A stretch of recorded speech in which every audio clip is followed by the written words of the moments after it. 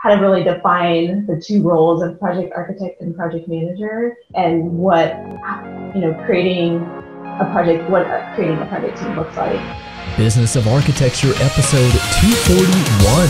Hello and welcome back, Architect Nation. I am Enoch Sears, and I am your guide on this journey to discover the tips, strategies, and secrets of the world's most profitable and meaningful architectural practices. If you haven't already, get free instant access to the four part architecture firm Profit Map video that I've prepared by going to freearchitectgift.com. If you haven't already seen that video, you are missing out. When you go there, you'll also be given a free subscription to my weekly Business of Architecture Insider, which you don't want to miss. Today's podcast is sponsored by BQE Core, the all in one solution for managing your architecture firm. From project management to accounting, time and expenses, billing, and business intelligence, Core makes all that easier. Get a free trial at businessofarchitecture.com forward slash demo. Have you ever wanted to work for clients with a mission that you are passionate about? A mission that's making a difference in the world, that's having a real impact on the lives, the daily lives of mothers, of fathers, of children, of communities? Well, today we speak with an individual who is passionate about that kind of work, Christina Congdon. She is the project and operations manager of Environmental Works. Last week, we spoke with the executive director of Environmental Works, Roger Tucker. Now, in this episode, we get Christina's take on working for Environmental Works, which is a community design center, a nonprofit that helps underprivileged communities with affordable housing, with projects, getting their projects done. And you can listen to my interview with Roger Tucker for more specifics about what this particular organization does, how they structure their finances, and everything like that.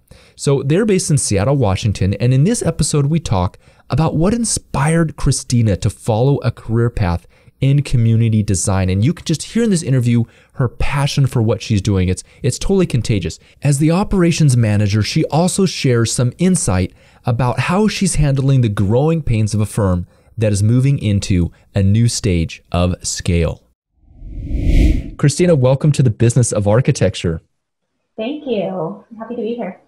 Well, first of all, I want to thank you specifically for reaching out. And I want to tell other people who are listening if you think you might be a good guest or your firm might be good here on the Business of Architecture show, Christina showed that she is a proactive person by reaching out, telling me about her company, and offering her uh, executive director, nicely enough, to be interviewed on the show. But we roped her into it as well. Yeah, yeah. I was surprised that you wanted me here, but here I am. So. Absolutely. Well, it, would be fantastic to get your perspective on the road that led you to this career path because we talk a lot about other firms that are for profit and kind of more traditional routes doing developer work or typical architecture work when we think about institutions. What led you down this path of working for environmental works? Yeah, so um, I went to grad school at University of Hawaii and um, I got an architecture doctorate degree. Um, and for that doctorate, um, call it an ArchD, um, you have to do like a big thesis project, um, like a year and a half or something. And um, my thesis project was on affordable housing in Hawaii specifically. so I was looking at Hawaii and the need there. It's a huge need in Hawaii. and I ended up moving back um, I grew up in Portland, but ended up moving to Seattle um, after school. And um, I got a, a different job um, with another firm, worked there for about a year and a half. And during the economic downturn, um, I was actually um, sort of uh, working part time at EW and still working at my other firm. So it was kind of like on a contract, like it was an agreement between the two firms because my firm that I was working with didn't have enough work, and um, Environmental Works was like super busy at the time. So um, I made the decision at that time to come to Environmental Works because it was like meant to be. I felt like I was like, oh, I didn't even know that environmental work existed. It was um, exactly what I had envisioned doing. You know, when I was in Hawaii, like learning about affordable housing, I was like, I would love to work um, for an organization that's doing good in the community um, and specifically working on affordable housing projects. So it kind of, I, I, think I'm kind of unique because I've worked at Environmental Works for about 10 years now, and I've only been out of school for um, about 12. So a, a majority of my time has been at Environmental Works because I feel like this is where I'm supposed to be, you know, like it was meant to be. So it must be nice to have that certainty of feeling like you belong. Yeah. yeah, I I think so. I think it's I have um I'm an operations manager, so I feel like I have like a vision of where um, environmental works it can go in the future. Um, and so I'm really looking forward to that. Yeah, tell me about the vision of the future. Where would you see it going? Well, I think um, right now we're doing such a great job at um, bringing in work. We have this like long-standing relationship with our clients. Um, we have an abundance amount of work right now, like so much that um, we're trying to find people. um, and uh, like it's like we we need to find people. It's like kind of like at a crisis level um, in a way. Um, and so I I think that we do a really good job at the architecture side. Um, me as a just to speak candidly, I guess me as operations manager, I think we can do a lot better at more of the um, HR side. So kind of bringing in people, like looking at our benefits and um, really um, supporting um, the architecture uh, practitioner, like as a as a whole person. So, I don't know. I, I just feel like um, we have a lot of we can get our name out there more as to other architecture professionals and say, you know, we're here, we're doing great work, um, come work for us, um, and you know, have people see our great projects that we're working on. So I think we're kind of um, we always tend to be really kind of shy about the work that we do, and I would like us to push to be more out there in the world, and um, so people know that we're what we're doing, and um, be able to gain the um, really top talent that um, I think we can get and do have, but you know, get more of it. so. so. it sounds like the part of your vision you honed in on was attracting more talent yes. to the, to the firm. Yes, very much so. Yeah, that would that's um, you know I think there's a shortage of um, sort of mid-level architects right now. Um, at least that's what it seems like here. Um, and so we're doing a lot of things to try and um, attract people. Um, you know, looking at our benefits packages and offering um, uh, more exciting things to try and really get people here. And so I'm excited for that moving forward. What are your traditional ways of finding new staff? How do you market the the company from a uh, an HR standpoint?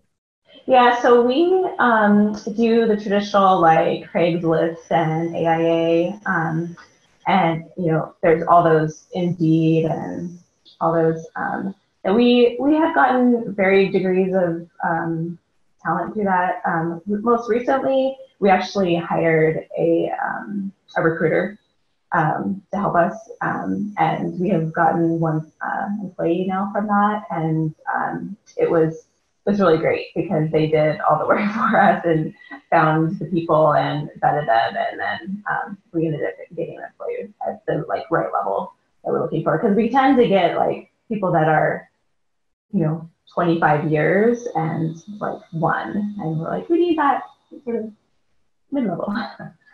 kind of that, that in between state. Yeah. Yeah. When you look into the future at your vision of what environmental works could become, what else is a part of that vision uh, after you start getting some more of these people who you would like to get? So um, I always say that um, I want environmental works to be the best place to work in all of Seattle or all of Washington. And I guess that means a varying degree of different things um, to different people.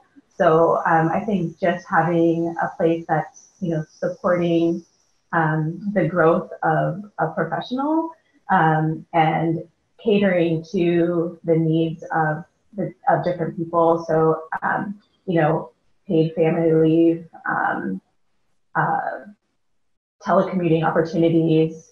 Uh, flex work time, um, all of those things I think um, are things that really help people feel like they're working in an environment that's really um, catering to them.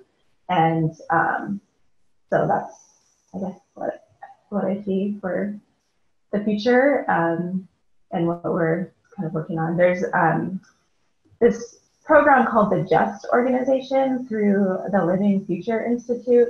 And it's kind of like LEED, where you have this sort of scorecard of like you have to meet certain criteria. Um, but this is just for organizations. So um, it's basically saying you're a socially responsible um, organization if you are able to meet these certain categories. Um, and so my goal is that we're going to meet that. I want to, you know, meet and exceed that. Um, and so we're working on updating all of our policies and everything to try and achieve that goal to be just. Or, what are some of the sustainable strategies or environmentally conscious things that you guys are really trying to do right now? Um, in terms of architecture or um, our organized like operations. well, if you have both, let's hear about both. I'm interested to know. um, well, I think um, in terms of architecture, we are. Um, I'm working on a project right now that's going to be one of the hopefully I think one of the first um, net zero supportive housing projects in Washington State. Um, so that's going to start construction really soon. Um, and so I think uh, working on that project and um, going through that process um, is going to inform us in future projects. So we're going to be able to use some of things we learned for that and uh, move forward for other projects. Um, in terms of operations, I would say um, uh, I think working on the social aspect of our organization is like at the top of our list right now. So some of the benefits that I've already listed, like um, for equitable equitable practices, um, we've been trying to be more transparent in terms of um, our pay scales. You know, providing a really clear diagram of what you need to do to get to each level and sort of a pay range um, showing what you will be getting. So try and um, minimizing the pay gap between men and women. Awesome. What in, in your role as an operations manager, what goes into that? Um, so I just started this job um, for the last two years. So, and it's been kind of a new position for EW. We had one back um, before I was here, so more than 10 years ago. Um, and then um, I think maybe Roger got sick of me telling him all of my ideas, so he was like, "We're putting you into this role." I don't, I don't really know, but um, I get really passionate about talking about um, ideas for the future. So um, uh, basically, my responsibility is looking at project budgets, contracts. Um, I started with looking at our um, accounting and um, project management software and making sure that we're kind of getting up to date and utilizing that to the most um, the most we can. Uh, we are kind of using it just for accounting, and now we're starting to use it more for project management.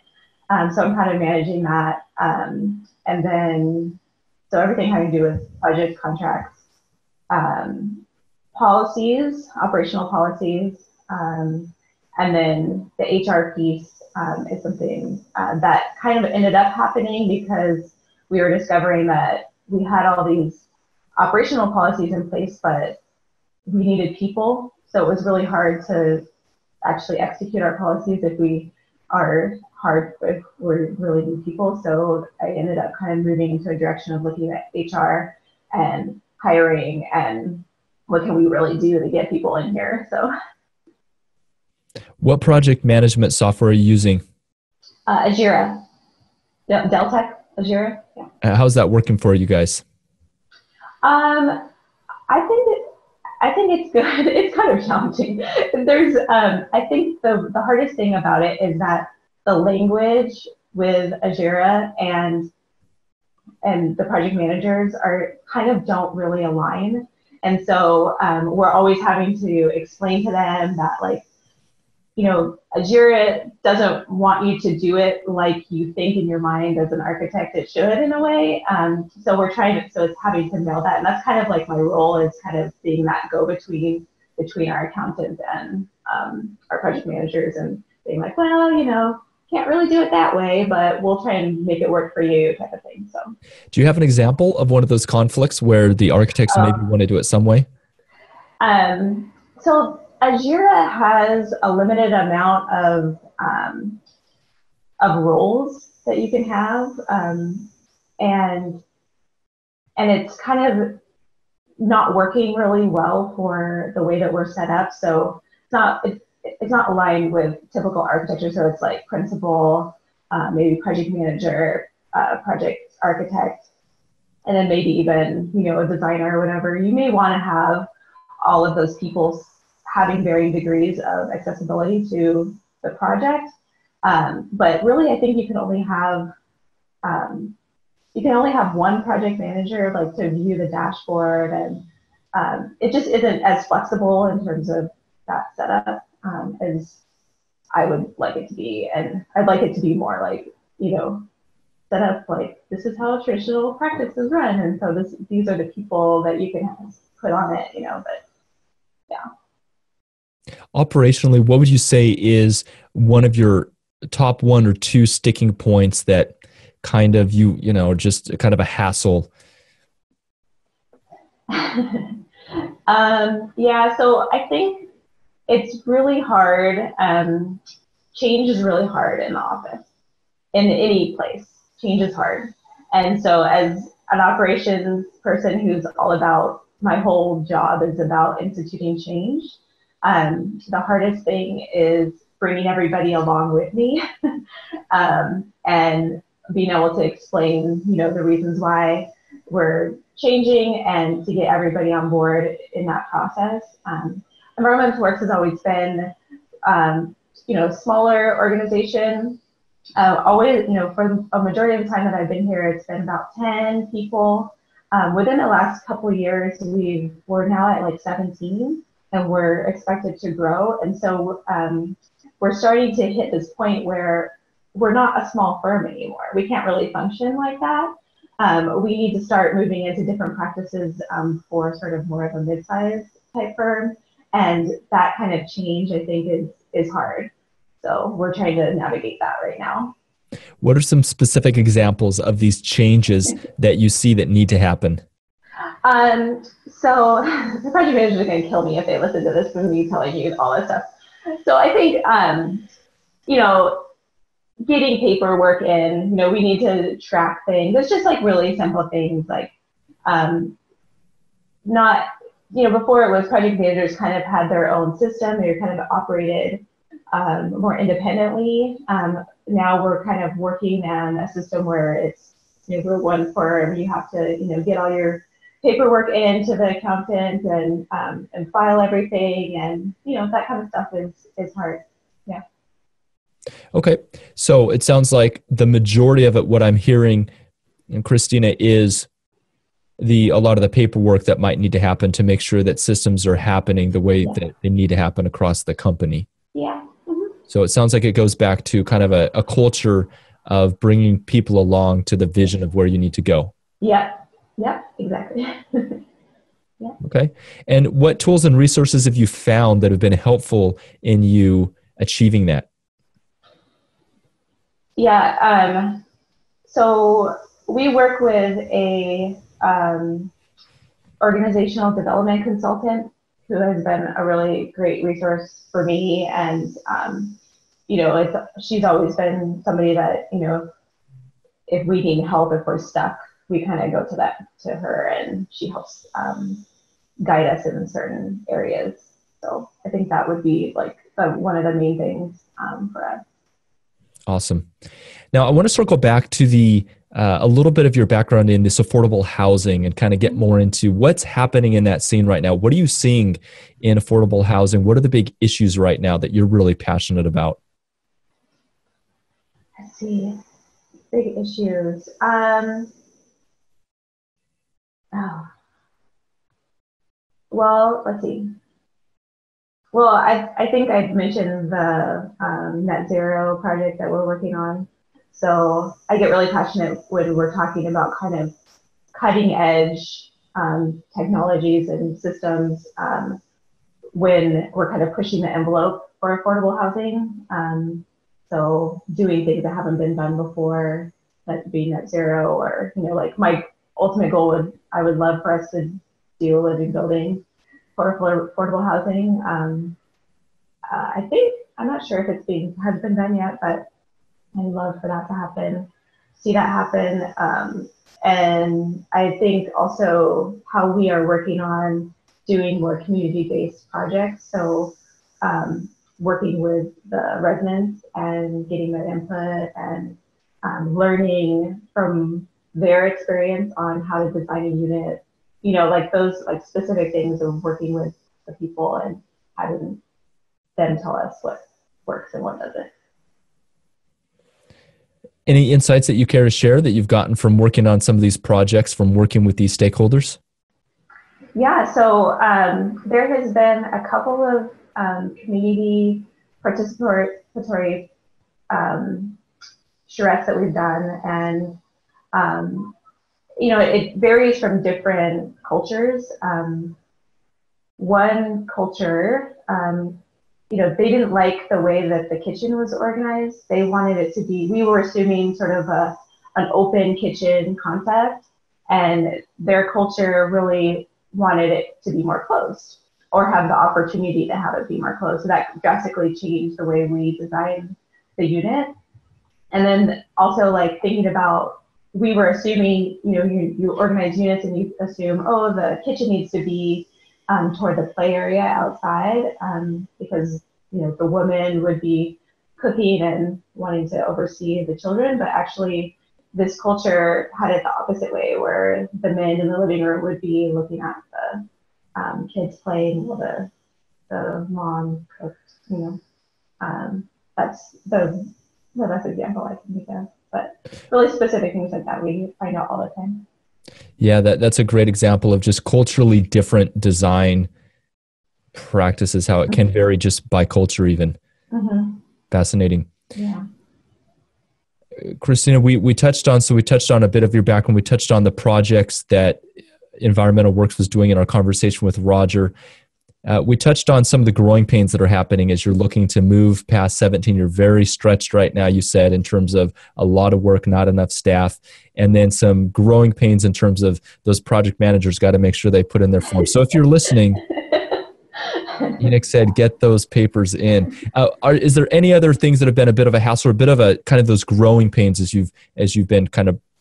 Yeah. So one thing that we're trying to figure out right now is, um, uh, so in Seattle, a lot of the funding for affordable housing is moving toward larger projects, so more like 100 plus units. Um, we've traditionally been more in the 50, 60 range. And so we're, we have projects now in the office that are um, 100 plus and 200. And um, so uh, not only are we making the jump from size of firm, but also project type. And so um, operationally, that's been, we've been looking at that and trying to figure out how that changes our office structure. So, and team structure. Um, so, you know, typically team structure is principal, project architect, or project manager, and then maybe some production staff.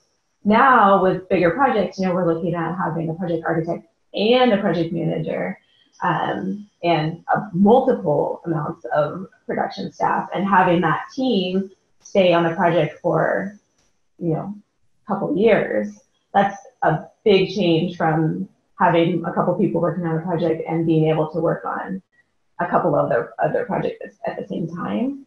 So we're trying to figure out how to um, how to really define the two roles of project architect and project manager um, and um, and what you know creating a project what creating a project team looks like and looking far enough at our workload to be able to keep that project team long term and what solutions have you been coming up with to deal with that challenge? this is a brand new thing. So if anybody has ideas about this, we would love to know. so reach out.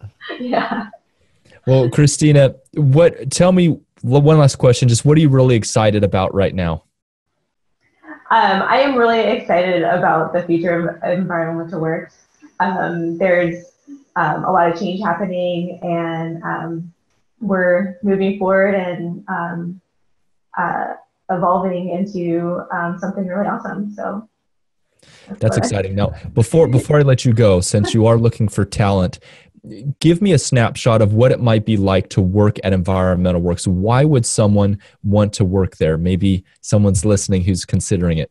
Yeah. So, um, well, first of all, we have a lot of awesome projects. The projects that we work on are so meaningful. So if you're um, working on something that you feel like there's got to be more to architecture, where you know you don't want to work on Costco's or something like that, you just feel like there's no meaning. Um, Environmental Works has a bunch of projects with a lot of great clients.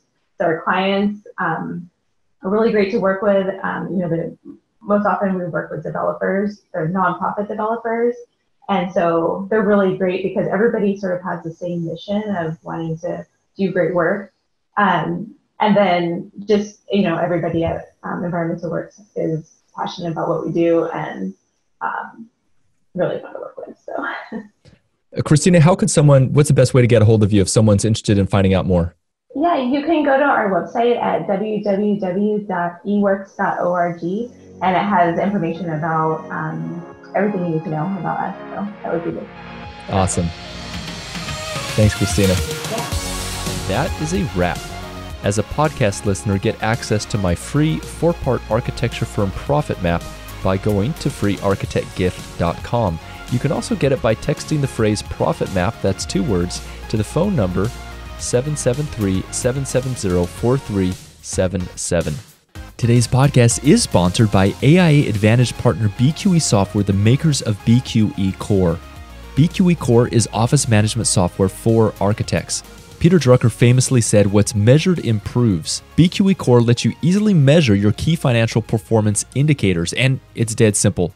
Get insights on the profitability of your firm with a beautiful and easy to customize graphical dashboard.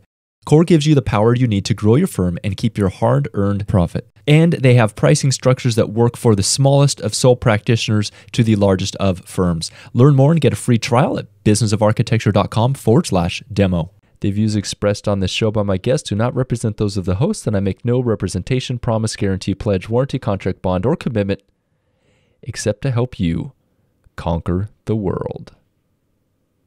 Carpe diem.